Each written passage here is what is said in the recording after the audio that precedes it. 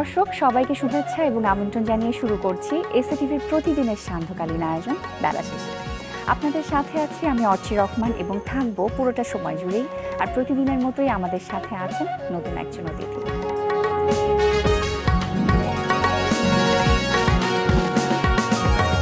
প্রিয় দর্শক, আজ ছাব্বিশে মার্চ স্বাধীনতা দিবস। আমরা যারা এই প্রজন্মের আছি, তারা সেই সময়ের কথা সবসময় টিভি নাটকে দেখেছি এবং বইয়ে পড়েছি। কিন্তু সেই সময়ে আসলে কি হয়েছিল এবং সেই পটভূমির কথা আজকে আমরা জানব এমন একজন অতিথি আছেন আমাদের সাথে। যিনি সেই সময়কে খুব কাছ থেকে দেখেছেন এবং সেই সময়ের সংবাদগুলো সবসময় উপস্থাপন করেছেন। আমাদের সাথে আছেন ইকবাল বাহার চৌধুরী, সাংবাদিক এবং ভিওএ বাংলা বিভাগের সাবেক প্রধান। চলে যাচ্ছি তার কাছে। কেমন আছেন? আমি ভালো আছি। এবং অনেক অনেক শুভেচ্ছা আমন্ত্রণ জানাচ্ছি। আমাদের বেলা শেষের আয়োজনে বিশেষ একটি দিনে আপনাকে আজকে পেয়েছি এবং বলছিলাম যে অনেক অনেক অভিজ্ঞতা আছে আপনার। সেই অভিজ্ঞতার কথাগুলো শুনতে চাই। খুব কাছ থেকে আপনি সেই সময়টাকে দেখেছেন। সেই সময়ের পটভূমির কথা আমি একটু জানতে চাই। আজকের দিনের পটভূমির কথা। উম, স্বাধীনতার কথা বলতে গেলে বা সেই সময়কার কথা বলে বলতে গেলে মার্চের সেই পঁচিশটা দিন দীর্ঘ সময়। সেই সময় আমাদের কীভাবে কেটেছে সকলেরই কীভাবে কেটেছে সকলেরই নানান অভিজ্ঞতা আছে আমার একার নয়। অনেকেরই আছে অনেক বড় বড় অভিজ্ঞতা আছে ছোটখাটো অভিজ্ঞতা আছে। আমি টেলিভিশনের মুখ্য সংবাদ উপস্থাপক ছিলাম। টেলিভিশন নিউজ ইউনিটে অনেকেই ছিলেন হুমায়ুন চৌধুরী নিউজ এডিটর আমার বন্ধু ছিলেন আরও অনেকেই ছিলেন। তারা সবাই আমরা কাজ করেছি একসঙ্গে। এবং সেই সময় খুব মানুষকে উৎসাহিত করেছে আমাদের নিউজ তখন একটাই চ্যানেল ছিল তখন সেটা তো পাকিস্তান আমল পাকিস্তানের পাকিস্তান টেলিভিশন। তখন। এবং আমরা প্রতিদিন সংবাদ আমরা উপস্থাপন করতাম আচ্ছা। সংবাদ সংগ্রহ করা হতো ছবি তোলা হতো সেটা সেভাবেই আমরা প্রচার করেছি একেবারে প্রথম দিন থেকেই। এবং প্রথম দিনের যে ঘটনা সেটা হচ্ছে যে পয়লা মার্চ তখন বঙ্গবন্ধু নির্বাচিত জাতীয় সংসদ সদস্যদের নিয়ে বৈঠক করছিলেন জি। হোটেলে। এবং আপনারা জানেন দুজন ছাড়া বাকি সব সদস্যই তার দলের ছিল নির্বাচিত কাজে। বিপুল ভোটে বিপুল সংখ্যাগরিষ্ঠতায় উনি নির্বাচিত হয়েছিলেন এবং উনি দলের নেতা হবেন প্রধানমন্ত্রী হবেন সরকার প্রধান হবেন সেটা তো একেবারে নিশ্চিত ব্যাপার ছিল। তো বৈঠক ডাকা হবে বৈঠক হওয়ার কথা কিন্তু বৈঠক ডাকার সিদ্ধান্তটা তখন অন্যরকম হয়ে গেল। বৈঠক আচ্ছা। স্থগিত হয়ে গেল। বৈঠক ডাকা হলো না সরকারি ঘোষণা হলো। এবং সেই ঘোষণার পরে সারা ঢাকা শহর এবং তারপরে সারা দেশ জুড়ে একেবারে বিক্ষোভ মানুষ বিক্ষোভে ফেটে পড়ল। তো এরা সব আসলেন সব পূর্বানী হোটেলের দিকে পূর্বানী হোটেলের সামনেই ছিল বিমান অফিস যেটা এখন তখন ছিল PI office Pakistan international. Airlines তো সেখানে নিয়ন বাতিতে লেখা ছিল পাকিস্তান ইন্টারন্যাশনাল এয়ারলাইন্স। এবং এই প্রসেশন এসে সেই পাকিস্তান শব্দটি উড়িয়ে দিল। আচ্ছা। নিয়ন বাতির সব চুরমার হয়ে গেল ইট পাটকেল ছুঁড়ে সব ভেঙে ফেলল। তখন আমার মনে হলো যে পাকিস্তানের বোধহয় এখানেই শেষ। আচ্ছা। সেটা মাত্র এক তারিখ। তারপরেও তো অনেক আলোচনা হয়েছে কথা হয়েছে বৈঠক হয়েছে। সেদিন আমার যেটুকু মনে আছে বঙ্গবন্ধু তখন বৈঠক শেষ করে ওখানে আমিও ছিলাম কাছাকাছি সাংবাদিকদের আচ্ছা। সাথে। আচ্ছা। এবং ওখান থেকে উপর থেকে নিচে আসলেন যখন উনি হেঁটে যাচ্ছেন। মানুষ তো তখন অস্থির হয়ে যাচ্ছে যে এখনই ঘোষণা দেওয়া হোক যে স্বাধীনতা। তো উনি খুব খুব ধীর স্থিরভাবে উনি অগ্রসর হচ্ছিলেন। এবং সেদিন তো এইভাবে এইভাবে গেল এবং আমরাও রাত্রেবেলা যে সংবাদ আমরা পেশ করলাম আমরা সংবাদ আচ্ছা, যে আচ্ছা। উপস্থাপন করলাম সেটা সম্পূর্ণ ছিল বাংলাদেশ টেলিভিশনের সংবাদের মতো। আচ্ছা। পাকিস্তান টেলিভিশনের নয়। যদিও পাকিস্তান টেলিভিশন থেকে জুবের আলী এবং আরও কয়েকজন ঊর্ধ্বতন কর্মকর্তা ওনারা ঢাকায় এসেছিলেন ওই কাভারেজের জন্য। কীভাবে কাভারেজ হবে ন্যাশনাল স্টেশন হবে তো ওনারা প্রিপারেশন হিসেবে এসেছিলেন এবং প্রত্যেক আচ্ছা। দিনই সন্ধ্যের সময় ওনারা টেলিভিশনে আসতেন এবং আমরা আমাদের ব্রডকাস্টের আগে পর্যন্ত ওনারা থাকতেন সেখানে। তো আমাদের আশেপাশে যা পরিবেশ পরিস্থিতি তাতে করে ওনারাও একটু বিচলিত হয়ে গেলেন চিন্তিত হয়ে গেলেন কিছুটা ভয় পেয়ে গেলেন বলা আচ্ছা। যায়। তারপরে তিন তারিখে মিটিং হলো ওখানে। পল্টনে মিটিং হলো সব ছাত্ররা বক্তৃতা করলেন ওখানে। এবং বিরাট জনতা। তো আমার মনে আছে এখন আমরা কাছাকাছি ছিলাম। তো এইভাবে সেই দিনটা গেল এবং সেই দিনটা যাওয়ার পরে আমরা রাত দশটার পরে বঙ্গবন্ধুর বাড়িতে গেলাম। নিউজ ইউনিটের যারা আমরা ছিলাম হুমায়ুন আচ্ছা, ছিল আচ্ছা। হুমায়ুন আমার বন্ধু এবং সে নিউজ এডিটর ছিল। যারা অন্যান্য যারা ছিল তারাও সবাই গেল সেখানে।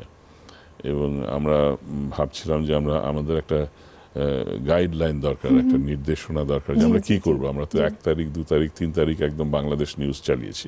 সব কাভারেজ বলতে গেলে বাংলাদেশের কাভারেজ সেটাই সব লিড স্টোরি প্রেসিডেন্ট ইয়াহিয়া বা পাকিস্তান সরকারের স্টোরি লিড স্টোরি নয়। এই ঘটনাটা আমরা বিরোধী থেকে ফিরে এসে শুনি এই অভিজ্ঞতার। কথাটুকু প্রিয় দর্শক এখানে নিয়ে নিচ্ছি ছোট্ট একটি বিরতি। ফিরে আসছে এক্ষুনি আমাদের সাথেই থাকবেন।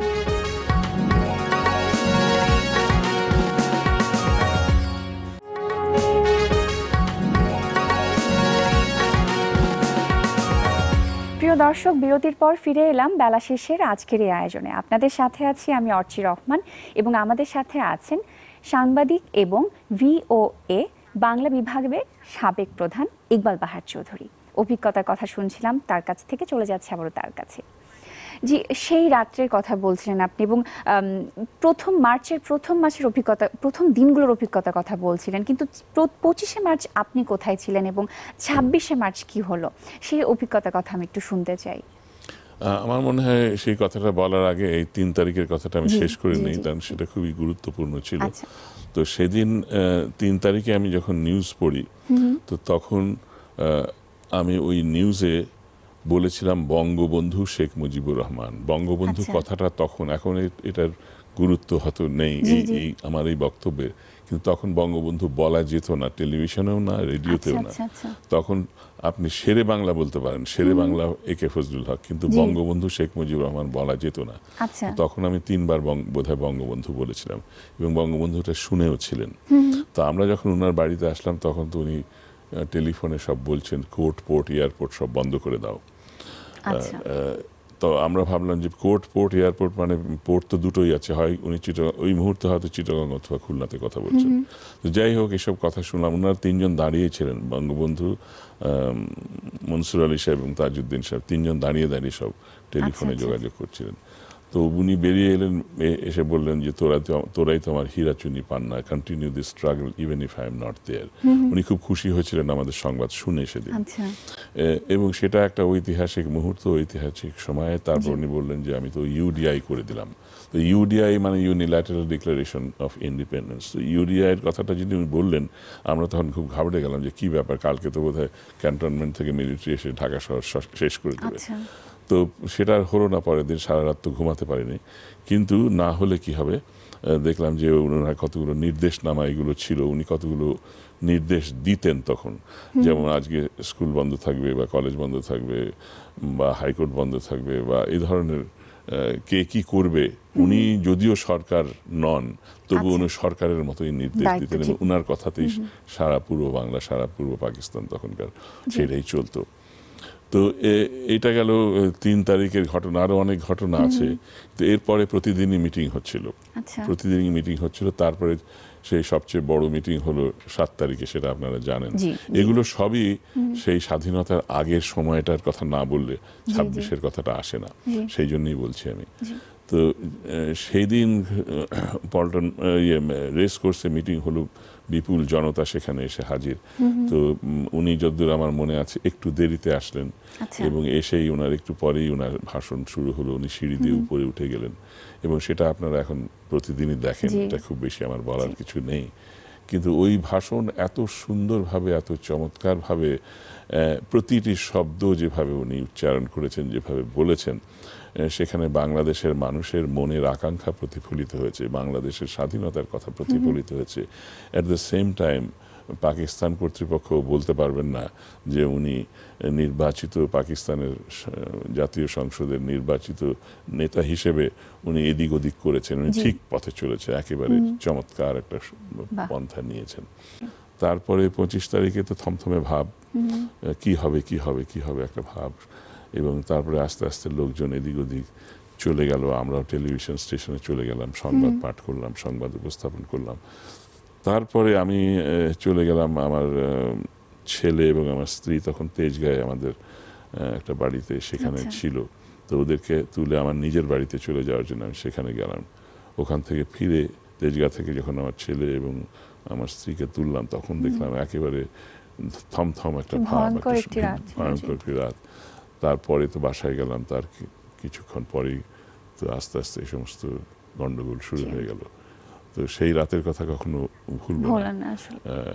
আর পরের দিন ছাব্বিশ তারিখে আহ, যে কোনো কারণে হোক টেলিভিশনে আমি যাইনি।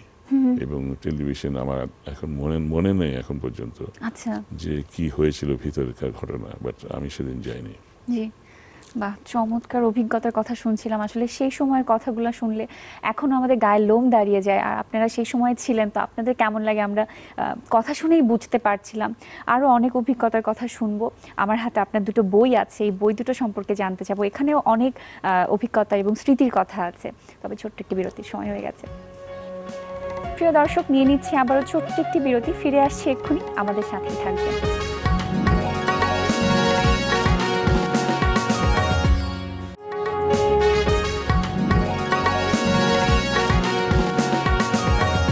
দর্শক, বিরতির পর আবারও ফিরে এলাম বেলা শেষের আজকের এই আয়োজনে।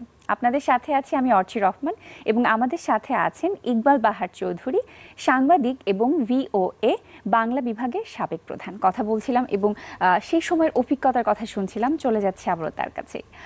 জি, আমি বলছিলাম বিরতির আগে যে আমার হাতে দুটো বই আছে, আমার কত কথা ছিল এবং ইকবাল বাহার চৌধুরী ব্রডকাস্ট জার্নালিস্ট যেটা এবং চমৎকার অভিজ্ঞতার কথাগুলোই আপনার এই বইতে আছে এবং আমরা এখানে পেয়েছি যেখানে বঙ্গবন্ধুর সাথে সেই ছবিগুলো আছে এবং শুধু বঙ্গবন্ধু শেখ মুজিবুর রহমান না যত সাংস্কৃতিক অঙ্গনের এত গুণী গুণী মানুষ থেকে শুরু করে পলিটিক্সের এত গুণী গুণী মানুষ সবখানকার মানুষের কথা এখানে আমরা পেয়েছি এবং এই ছবিটা আমি দেখাতে চাই। চমৎকার একটি ছবি হাস্যজ্জ্বল একটি ছবি। এইটা মার্চ সেভেন্টি ওয়ানের ছবি। আচ্ছা আচ্ছা। ওনার বাড়িতে। এই যে বইটির পরিকল্পনা করেছিলেন যে আপনার জীবনের এই মুহূর্তগুলোকে আপনি এভাবে সংরক্ষণ করতে চান বা আমাদের কাছে তুলে ধরতে চান এই পরিকল্পনাটা কবে হলো?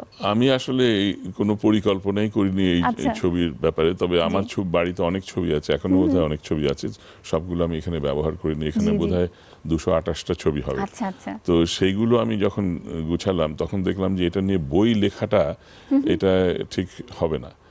আমার তাই মনে হয়েছে। আমি ক্যাপশন লিখলাম। তো এটা হচ্ছে মাই কেরিয়ার ইন পিকচার্স। এটা ছবির বই লেখার বই না। কিন্তু ওই ক্যাপশনেই অনেক কিছু বলে দেয় কোথাকার কবেকার ছবি কি ছবি। তো এখানে রাজনৈতিক নেতৃবৃন্দের ছবি আছে আন্তর্জাতিক অঙ্গনের যেমন হিলারি ক্লিন্টন সেনেটর কেনেডি তারপরে Muhammad Ali boxer Muhammad Ali Duke Ellington এদিকে আমাদের দেশের যারা অত্যন্ত শ্রদ্ধেয় ব্যক্তি ডক্টর শহীদুল্লাহ বেগম সুফিয়া কামাল তারপরে শিল্পীদের মধ্যে ফিরোজা বেগম রুনা লায়লা অনেকে আছে আবার নাটকের ছবি আছে না নাটক করেছিলাম ভ্রান্তি বিলাস কৃষ্ণকুমারী। জি। এই এই ছাত্র জীবনে মনির চৌধুরী। তখন ছিলেন উনি আমাদের পরিচালনা করেছিলেন। আমি মুখ্য চরিত্রে অভিনয় করেছিলাম। রেডিওর কিছু আছে আচ্ছা। এখানে ছবি। আবৃত্তির কিছু আছে। সব মিলিয়ে আর কি অনেক ছবি আছে অনেক ছবি। এই যে মাত্র বলছিলেন যে মনির চৌধুরীর ডিরেকশনে যে নাটকে কাজ করা হয়েছে আসলে এই অভিজ্ঞতার কথাগুলো আমরা শুনতে চাই কারণ আমরা সবসময় তাদের নামই শুনে থাকি এবং আপনি যেখানে তার নাটকে কাজ করেছেন এত কাছ থেকে তাকে দেখেছেন কেমন ছিল সেই সময়গুলো? মেহবুব আলী ইনস্টিটিউট বলে রেলওয়ে ইনস্টিটিউট ছিল একটা ঢাকাতে এক সময়। ওটা ওই গুলিস্তান সিনেমা তখন ছিল এখন তো বোধহয় নেই। তার কাছেই ছিল রেল লাইনের কাছে নওয়াপুর রোডের ক্রসিং এর কাছে তো সেখানে নাটক হতো। আর হতো কার্জন হলে। কার্জন আচ্ছা। হলে মূলত ইউনিভার্সিটি কেন্দ্রিক মানে ফজলক হল সলিমুল্লাহ হল ডাকসু এইসব নাটক হতো অনেক হতো। আর আহ, মেহবুব আলী ইনস্টিটিউটে নাটক হতো। এবং সেখানে আমি একবার মুনির চৌধুরীকে নাটক নাটকে অভিনয় করতে দেখেছি। আচ্ছা আচ্ছা। আমরা তখন অনেক ছোট। ইউনিভার্সিটির সময় তখন আমরা নাটকে ইনভলভ হলাম। দুটো নাটকের কথা আমার মনে আছে। ভ্রান্তি বিলাস এবং কৃষ্ণকুমারী বাংলা একাডেমি করল। এবং সেই নাটকে আমরা অভিনয় করলাম আমি মুখ্য চরিত্রে পুরুষ চরিত্রে অভিনয় করেছিলাম। আচ্ছা। লিলি চৌধুরী মুখ্য নারী চরিত্রে এবং মুনির চৌধুরী উনি ডিরেকশন দিয়েছিলেন। প্রফেসর রফিকুল ইসলামও ছিলেন। তো রামেন্দু এবং আব্দুল্লাল মামুন ফেরদৌসি এরা সবাই তখন অভিনয়। করেছে। তো মুখ্য চরিত্রে আমি অভিনয় করেছি। তো আমি এখন অভিনেতা হিসেবে পরিচিত আচ্ছা। নই মোটেও। এবং তার পরবর্তীতে অভিনয় কাজ করা হয়নি। না করা হয়নি। আমি আমেরিকায় যখন গেছি ওখানে যাওয়ার পরে ওখানে তো নাটক করা দুরূহ ব্যাপার তবুও যারা নাটক করেনি এমন কিছু লোকজনকে নিয়ে আমি কয়েকটা নাটক করেছি ওখানে। কখনো ইচ্ছে হয়নি টিভি মিডিয়াতে কাজ করতে? টিভি মিডিয়াতে আমাকে নাটক করতে দেওয়া হয়নি বলব আমি। আচ্ছা। এই জন্য যে ওরা বলতো যে যদি আপনি নিউজ পড়েন তাহলে নাটক করবেন না। নাটক করলে নিউজ পড়বেন না। এটা ওদের বোধহয় একটা পলিসি ছিল সেই তখ- তখনকার আমলে পাকিস্তান আমলে তো আমি নিউজেই কেন যেন কনসেন্ট্রেট করলাম এবং নিউজেই থেকে গেলাম ব্রডকাস্ট জার্নালিজমে রয়ে গেলাম। এবং এই ডিসেম্বরের আমরা আপনাকে পেয়েছি বাংলা একাডেমি সম্মানসূচক ফেলোশিপ প্রদান করেছে। সেই সম্পর্কে একটু জানতে চাই সেই অভিজ্ঞতার কথা অনুভূতির কথা। দেখুন এটা কি বলব এমন কিছু ব্যাপার না তবু বলব আমার ভালো লেগেছে। বাংলা একাডেমির সাথে আমার যোগাযোগ সম্পর্ক দীর্ঘদিনের বাংলা একাডেমিতে সেই পাকিস্তান আমল থেকে কবিতা আবৃত্তি করেছি নাটক করেছি সেমিনার সিম্পোজিয়ামে গেছি পরেও গেছি পেপার পড়েছি সার্ধ শতবার্ষিকীতে অংশগ্রহণ করেছি। তো ওই সময়কার রবীন্দ্র জন্ম শতবার্ষিকী হয়েছে সেখানেও সম্পর্ক ছিল আবৃত্তি করেছি। তো সেইখানে সেই প্রতিষ্ঠান থেকে যাই হোক একটা সম্মাননা। সেটা আমার ভালো লেগেছে। বাহ। অনেক অনেক ধন্যবাদ স্যার যে প্রথমেই বলছিলাম যে এত কম সময়ে আপনার জীবনের আরও অনেক কিছুই জানবার আছে এবং আরও অনেক অভিজ্ঞতার কথা শুনলে আমাদের ভালো লাগতো আমাদের নতুন প্রজন্ম অনেক কিছু জানতে পারতো। কিন্তু সময়ের কাছে বাধা পড়ে গেছে আজকের মতো বিদায় নিতে হচ্ছে। আপনাদেরও ধন্যবাদ আমাকে সময় দেওয়ার জন্য। অনেক অনেক ধন্যবাদ। প্রিয় দর্শক, আজকের মতো এখানেই শেষ করছি বেলা শেষের আয়োজন। আবারও দেখা হবে নতুন আরেকটি দিনের শেষে, নতুন আরেকটি আয়োজনে, নতুন আরেকজন অতিথিকে সাথে নিয়ে। সে পর্যন্ত সবাই ভালো থাকবেন, সুন্দর থাকবেন, সুস্থ থাকবেন।